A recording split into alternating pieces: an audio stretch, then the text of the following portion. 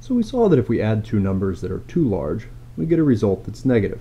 And we kind of have some idea of why this happens. We know that it's because the numbers are in uh, binary and that they have a fixed number of bits in them. In the case of an int, there are 32 bits. We can actually get a little bit more information about this. Turns out that we can ask the integer type what its minimum value and its maximum value are.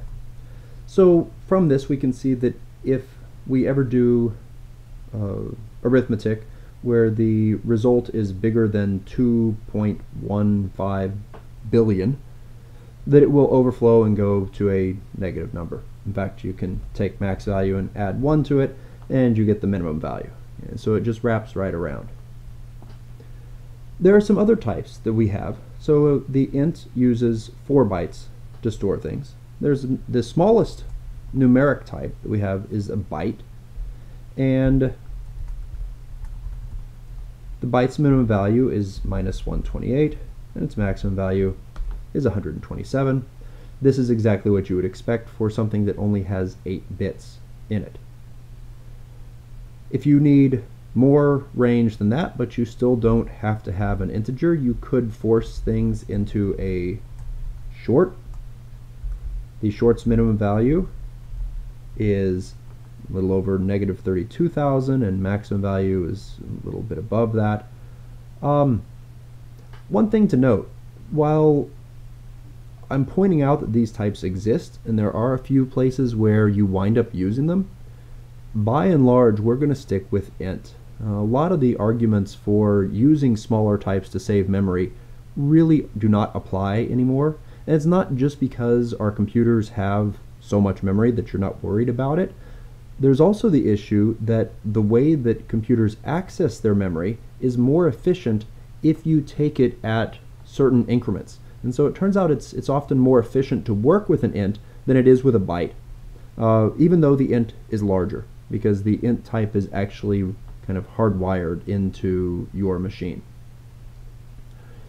On the opposite end, there is the long type. Now, this can be useful if you actually have a number. What if I needed to add 2 billion to 2 billion?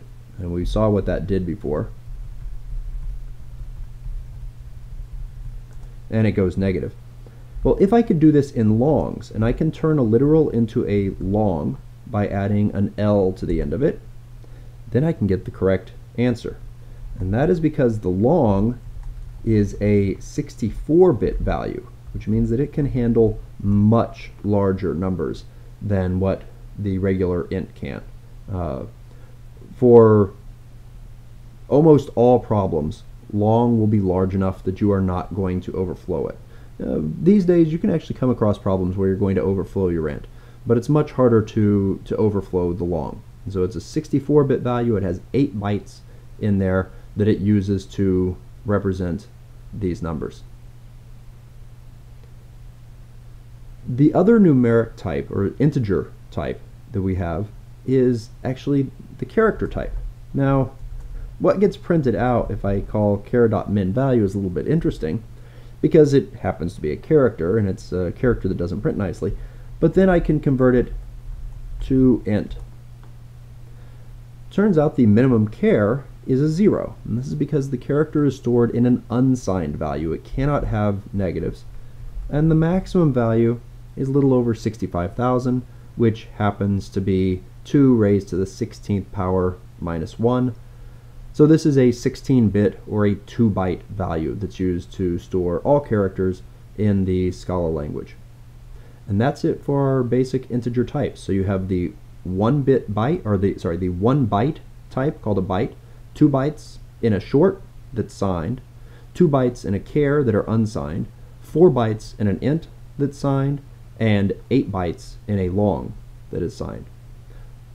Vast majority of the time, we're going to use an int, but it's helpful for you to know the others when they come up.